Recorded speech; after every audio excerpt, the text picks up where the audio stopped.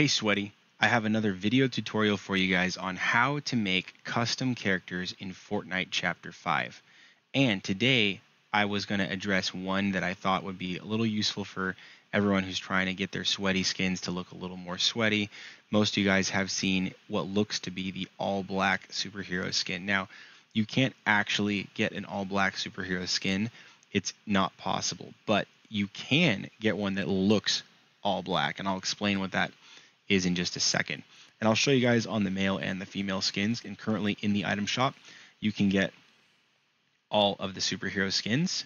For one, uh, one skin is 1,800 V bucks, and so you can just get one. I have this one for the male, the hunter skin, and then this one for the female.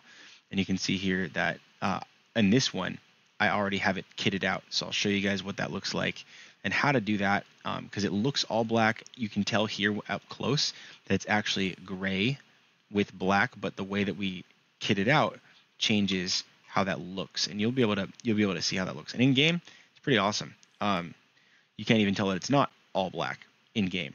You can even change the eyes so that they don't glow white. You can change them all black too. So you can black, black, black it out, and you can do that with a female too. So let's have some fun.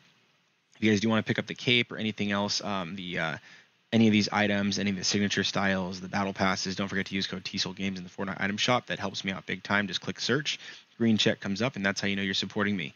So thank you guys very much. Now, let's go to the locker. So first, let's start with the female superhero skin. So what we're going to do is this. Just follow along, click on locker, go here to the edit styles. And then from here, what we're going to do is we're just going to click this first pattern here and then we're going to go cowl on full mask and we're going to go belt off. You can do belt on too, but it looks cleaner with the belt off. Um, and this doesn't matter because when you have full cowl, it covers the mask on or off. So that's fine. Next, we're going to go up here to the primary color. For the primary color, we are going to do, um, we're going to do black. And we're going to do plastic. Okay, so black and plastic. Now, one thing you'll notice is the black, when you go to metallic, looks way darker. It is actually like black, like true black. This um, is much lighter. It's actually looking kind of gray. And uh, the spandex also is very dark. And the um, cloth is very dark. So in order from lightest to darkest, it goes plastic, then spandex, then cloth, then metallic, metallic being the darkest we're actually going to make the black look a little lighter by going plastic. So that when we go to our secondary color, we can take the next darkest, which is silver, and apply the darkest shade to it, which is metallic. So if you go to spandex, you can see the clear difference in the color. And here the plastic, clear difference, cloth, clear difference. But when we take silver with metallic, it gets much darker. And you can see that it actually almost makes the entire thing look like it's the same color. Pretty neat, right? So the shading here, the material, changes the way the color rests on the skin. So that's true of any of these colors. So if you want a color to look a little darker, you can just by making it metallic. If you want it to look a little lighter, you do plastic. And then cloth is a little bit darker and spandex is a little bit lighter. So um, these are just four ways to shade the, the skin. And so because of this, I'm going to just go over it one more time. Primary material is black, make it lighter with plastic. Secondary is silver, and we're going to do metallic to make it darker. And that gives us this look.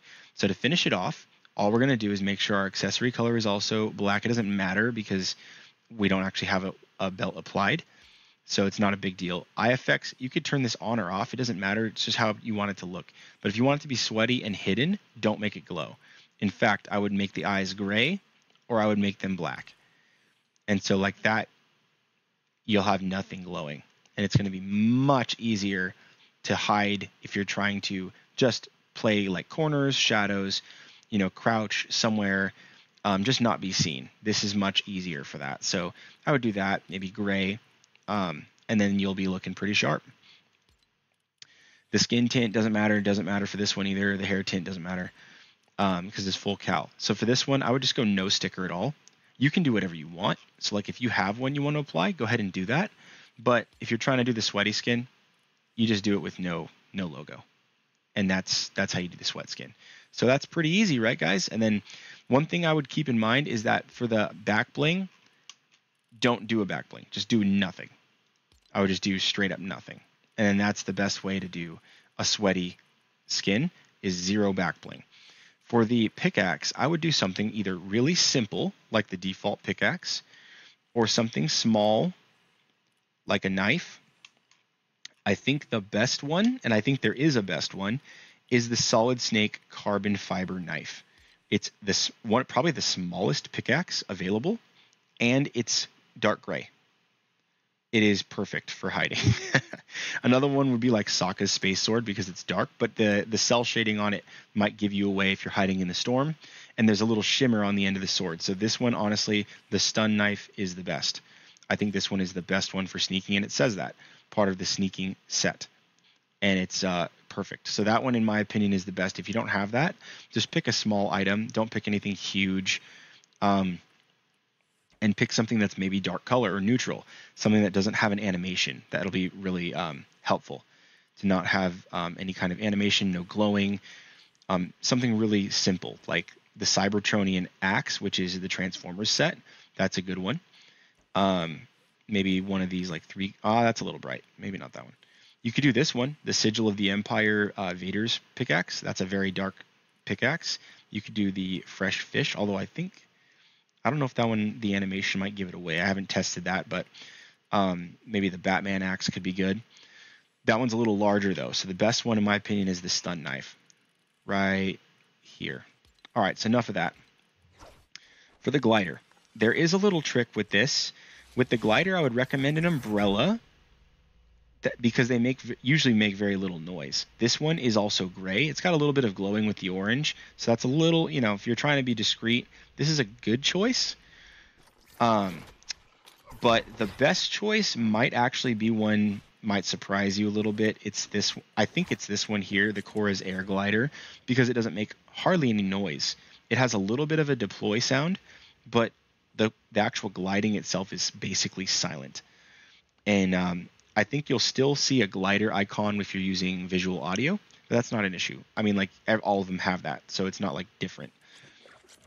But the actual sound of it, you can't really hear with your earphones. That's what I mean. And so um, the Resbrella is also very silent. It has a little bit of a glow to it, but it's very quiet. You hear that? Me neither. That's probably the most silent. So that's a great one. Um, yeah. Now, one little trick I'm going to point out to you guys. This is something that helps if you're fighting sweats who shoot you out of the sky. Pick a glider. If you don't care about being discreet and you just want to be hard to hit, then pick a glider that you stand on. Something where the glider is below you instead of above you because it blocks the visual of your character and people have a harder time aiming at you from the ground. So when you're gliding down after a reboot, that it's going to make you a lot harder to hit if the if the thing that you're riding is below you. They won't be able to see you as easily. They're guessing at that point. So now if you're on the bottom of an umbrella, they're going to be able to look right at your character. But if you're standing on top of Appa, they're not going to be able to see you. And so that's a little trick. Just keep that in mind. There's a lot of them that you can stand on and um, that makes you much harder to hit. This comet right here, you stand on top of. This skull, you stand on top of. This sword, you stand on top of. The bike, you stand on top of. Um, the commander's descent, you stand on top of. Uh, this one right here, the magnetic steps, you stand on top of. Now, if you don't care about being um, discreet and you're not just trying to hide, then I would go with one of the ones you stand on.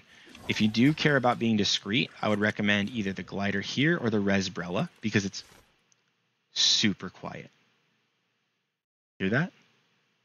Me neither. So if that's what you want, just consider that. Okay. I know that section took a little longer. I just want to drive that point home. And for the contrail, do none. That's the that's my recommendation.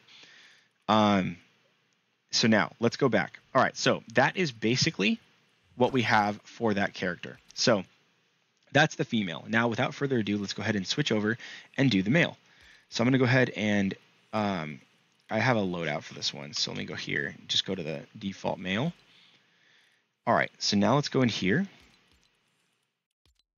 and edit styles. So from the default of the male, we're going to just start here. Um, we're going to go full cowl, just like the female. We're going to go mask off, belt off, and we're going to choose pattern one.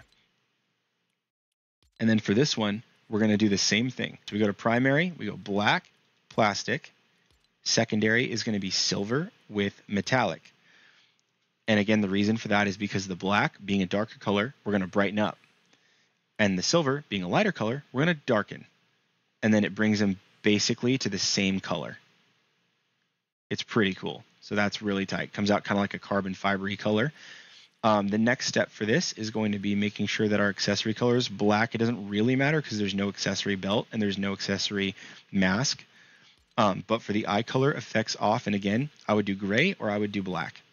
I think gray is probably the coolest looking in my opinion, but it's just up to you. Skin tint none, hair tint none, and then no sticker. And voila, look at that. Perfect. Just perfect. It's beautiful. All right, so most of you guys are going to be using the female. The same thing applies for this one.